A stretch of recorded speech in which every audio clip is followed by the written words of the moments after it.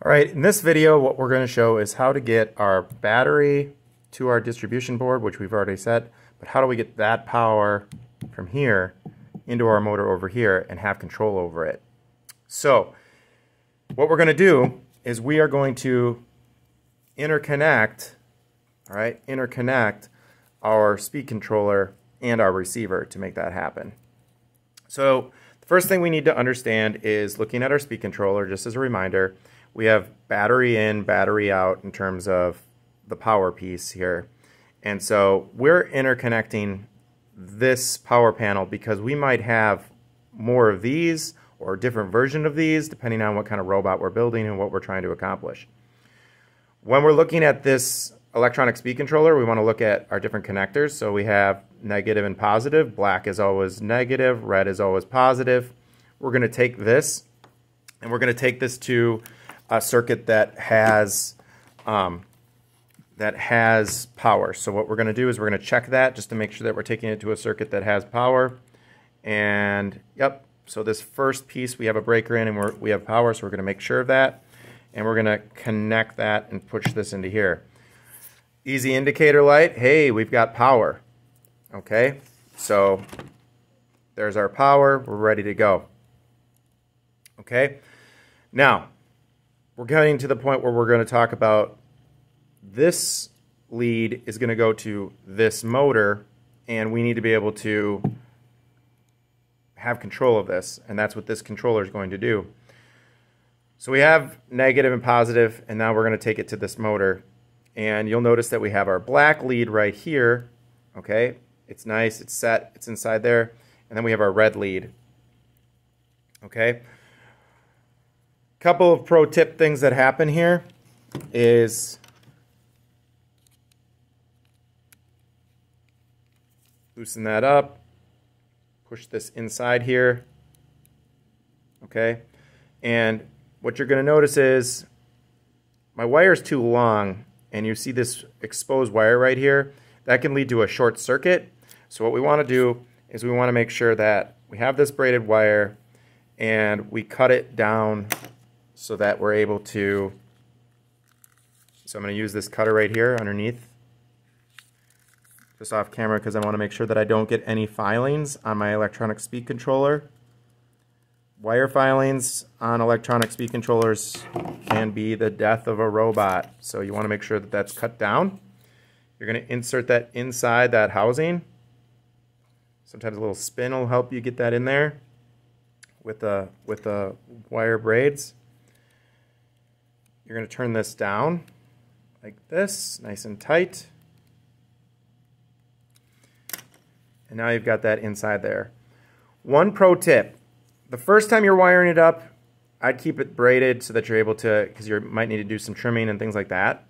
Once you've got everything done correctly, cut to the right lengths and everything, I would consider soldering the wire so that you have um, the, wi the wires, the braids, if you're taking them in and out, they don't um, come unfurled, and then you've got little short opportunity, short circuit opportunities. So you may consider soldering the tips in terms of the ends of these wires, and then inserting them. Okay, so we're to take this, we're to connect it to the motor, and now we have this circuit wired up where we've got the battery, we've got the power distribution panel, we've got our motor, and now we want to have control over that motor. So we have to do a couple of things. One, okay, when you're looking at this in terms of our PWM cables, you'll notice on the end here we have our 5 volt because we're going to have power, and then you're going to have uh, S1 and S2, which is basically service 1 and service 2 in terms of which one you're going to be doing. So service 2 is going to take us to motor 2. Service 1 is going to take us to motor one, and then this provides us a 5 volt battery source for, or power source for our receiver, for our controller. So what we're going to do is, depending on how we want to run that motor, we're going to connect it to our receiver.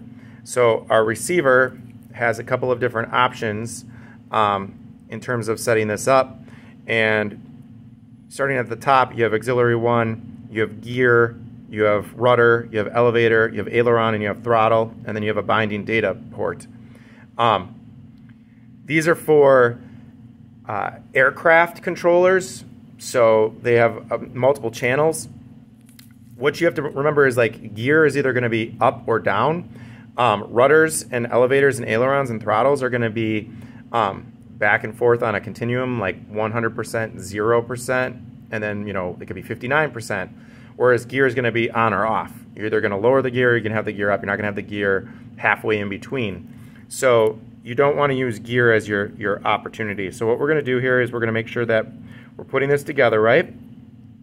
So I'm going to put uh, channel 1 on rudder. I'm just going to slide that in there like this. I'm going to put channel 2 on aileron like this. Oops, make sure I get that in there. And I'm going to take this 5 power and I'm going to put that into auxiliary so I'm able to put the power on. And I'm, I'm leaving space in between so that I can easily get them in and out. Um, eventually, I might need to move them around a little bit. Not the power one, but I've left, I've left some space so that I can easily pull these in and out if necessary, which will be necessary. The last spot that we need to do here, okay, is I'm going to take the power off of the power distribution panel. Normally what we would have is we'd have a switch in the positive here. Um, and so we don't have that for this setup yet. Um, so I'm going to turn unplug it so that I can take this and I'm going to take what we call the binding plug and we are going to put that into the binding plug port. Okay. And what we're going to do is when we're setting up a when we're setting up a, a, mo a, motor system like this or a robot, the first thing you always do is you turn on the robot. So that's going to be plugging this in right now. And there's a small flashing light. You can see that right there. All right. So this receiver is asking for a signal from a controller. And we're going to bring in our controller. And there's a binding switch right here. And what we're going to do is we're going to make sure everything is zeroed off. Zero, zero, zero. Everything's off. We're going to make sure that our controls are zeroed out. We're going to pull up the binding plug and turn on the power. okay? And you see that it's blinking. I'm to give it a count of 6, 7, and you heard that twitch and that beep. And now, okay, I have control over this motor, okay? I have control over this motor by, and I'm going to hold this, all right? So I have control over this motor by simply, okay? So I have zeroed out here